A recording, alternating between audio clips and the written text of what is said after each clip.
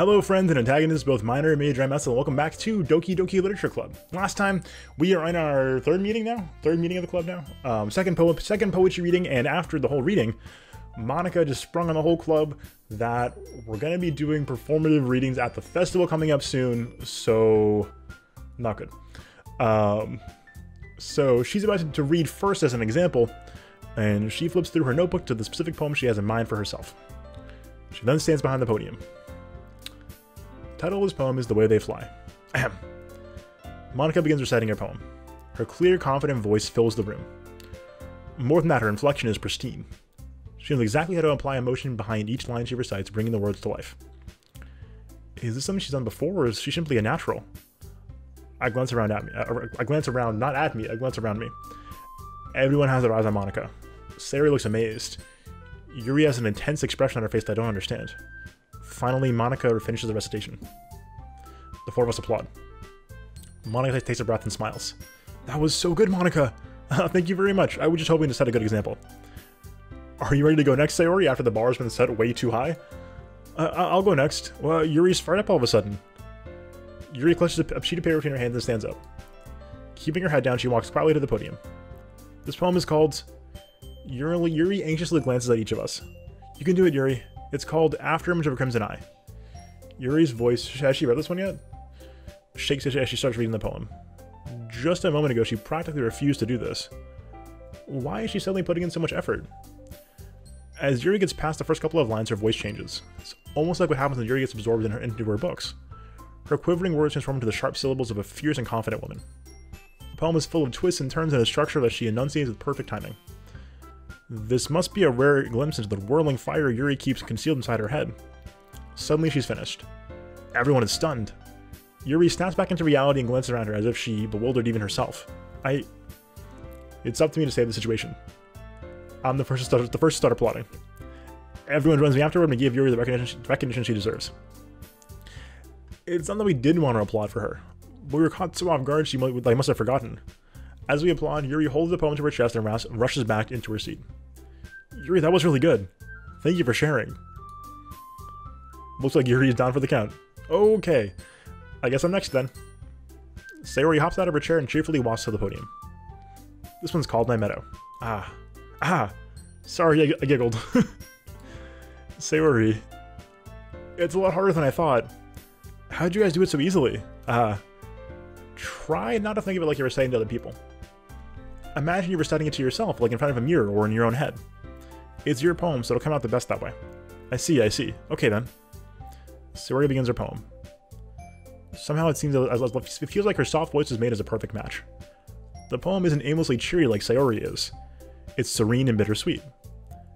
If I were to read this on paper, I would probably wouldn't think much of it, but hearing come from Sayori's voice almost gives it a whole new meaning. Maybe this is what Sayori meant when she said when she said she likes my poems.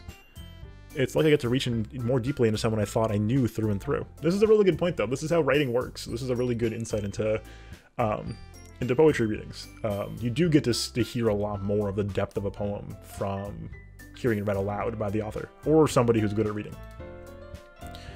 Sayori finishes and we applaud. I did it! Good job, Sayori.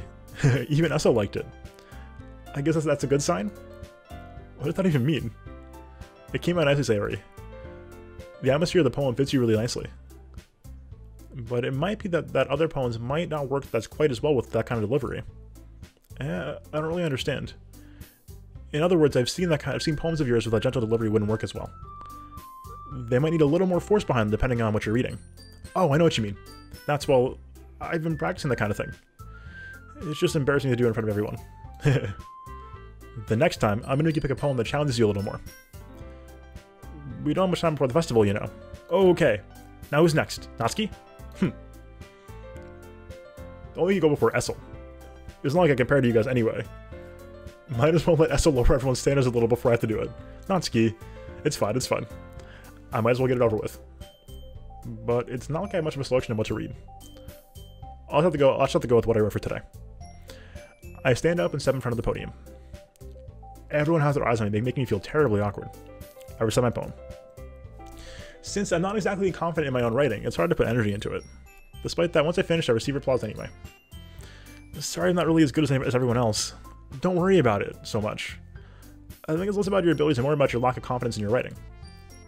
That's something that will improve over time, though. Yeah, maybe. Alright then. That just leaves you, Natsuki. Yeah, yeah. I'm going. Natsuki begrudgingly gets out of her seat and makes her way to the podium. The poem is called The Competitor kind of like stomping a little bit. It's called Why Are You Looking at Me? Because you're presenting. Huh. Anyway, the poem is called Jump. Natsuki, Natsuki takes a breath. Once she starts reciting the poem, her sour attitude disappears a little. While she's still a little unenthused, her poem has a rhythm and rhyme to it. It's Natsuki's trademark style and it works surprisingly well when spoken aloud. The words feel like they, they bounce up and down, just giving life to the poem. Natsuki finishes and everyone applauds. She jumps back to her seat. That wasn't so bad, was it? Easy for you to say. You better not make me do that again. Oh, well. Do you at least feel prepared enough to recite a poem in front of other people? I mean, doing it in front of others will be way easier. I can put on whatever face I want for other people. But when it's just my friends, it's just embarrassing. Oh, this is so this is so vulnerable for her, jeez. That's a surprise, Natsuki. I think it'd be the other way around for me. Well, that's just how it is, so... Well, I guess in that case, you want a much to worry about for the festival. That said, I want to thank everyone for coming through. It might be hard, but I hope you have an idea of what it's like now. Make sure you pick a poem and get into practice for the festival, okay? I'll be making pamphlets, so let me know ahead of time what you'll be reciting. Jeez. Should probably find some other, other poems to recite instead. That's fine too. It doesn't have to be your own. I'm already pleasantly surprised at putting all this effort in for the club. It makes me really happy. Oh, yeah, no, no problem. Okay, everyone. I think that's about it for today. I know the festival's coming up, but it's let's try to write poems for tomorrow as well. It's been working out really nicely so far, so I'd like to continue that.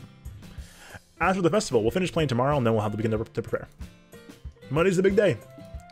I can't wait. I can do this. I can do this. All right. I stand up. There's no way I'll be able to find the same enthusiasm as Sayori or Monika, but I'll do my best to get through it. If it's for the sake of the club, and impressing Monika, then I'll have to do my best. Ready to go, Sayori? Yep. Look at you always going home together like that. It's kind of adorable, isn't it? Jeez, guys. What's such a big deal out of it? Must be a little nice, though. Well, ah, how am I supposed to respond to that? It's okay, Essel, you don't have to say it. Whatever, let's go already. I'll come with Sayori once more. Let's save here after home real quick. Alright, cool. Just to be I'm getting a little concerned about saving, because I, I, know we're getting to the, to the threshold of, like, things getting messy. Even though it's only been a few days, a lot of things have already changed. But today, Sayori's being a little quieter than usual on the way home. Hey, Sayori? Sorry, I was spacing out. Oh, no wonder. Um, I was thinking about something from earlier. I like how we get to... I mean, Sayori fumbles with her words. So let's just say that one day, Yuri asked to walk home with you. Huh? What would you do? What kind of question is that? You're kind of putting me on the spot here.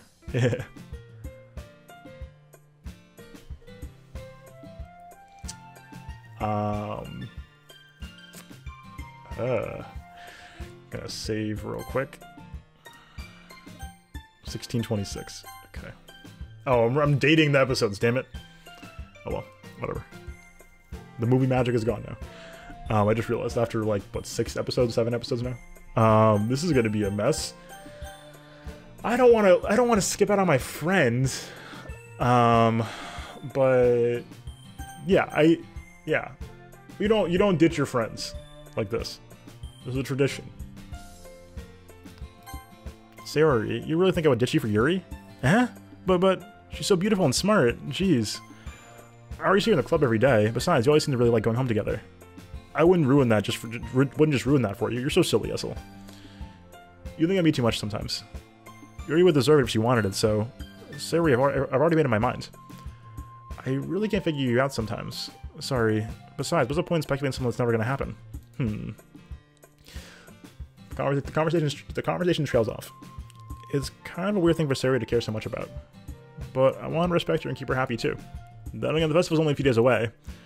Who knows what'll happen in that time?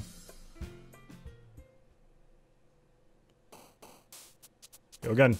Poems again. Poetry time. Uh, that was so memories is is is a uh, sorry. We want we want to get back to uh get back to Yuri mode. Termination. Disarray. Disoriented. Unending. Um, who does depression hit? Uh, depression hits Sayori. Graveyard. Um, I'm trying to make sure we click the Yuri buttons, okay? Inferno, we know that we know that works. Um, boop. Melancholy. Interesting. Universe. Misfortune. Misfortune is Sayori.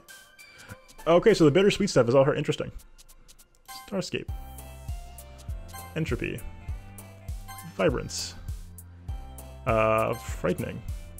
So the scary sort of horror-y kind of stuff is Yuri, but the sadness and melan and uh, more, but the bittersweet, the, the bittersweet melancholic kind of stuff is more Sayori's realm. I guess interesting.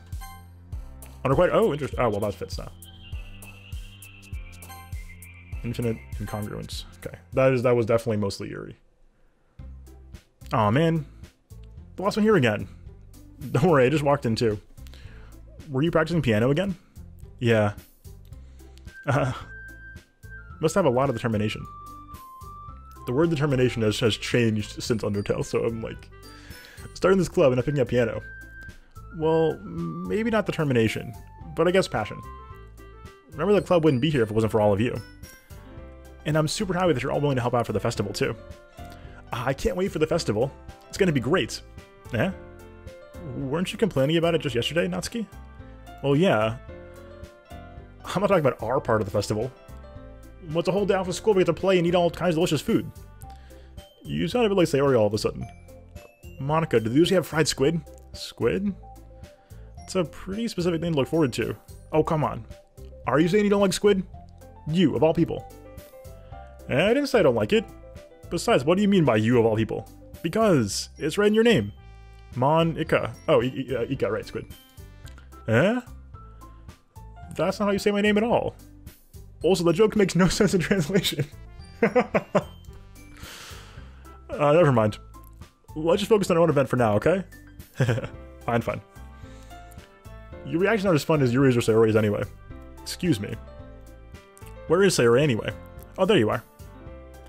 Sayori's sitting at a desk in the corner of the room looking down at nothing. I'll walk over to her. Hey, Sayori. I wave my hand in front of her face. Oh, eh? Your space not again. Ah. Sorry. Don't mind me. You can go talk to everyone else. Huh? Is everything alright? Uh, of course. Why wouldn't it be? It just feels like you're a little off. Sorry for assuming things. Jeez, you worry too much about me.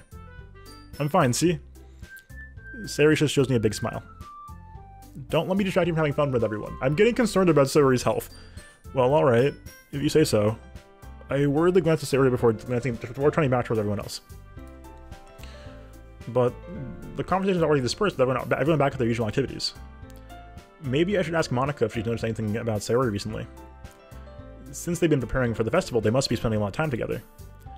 I timidly approach Monika, who's shuffling through some papers at the desk. Essel, what's up? Alright, so we're going to find out what's up with Sayori next time, because it is our episode mark here. So I'll be back next time with more Doki Doki. So hopefully y'all are enjoying the series. I'm excited to find out more. Um, sure we get into the twist soon. So stay hanging there, and hopefully I'll see you guys next time. But until then, enjoy yourselves, and peace out.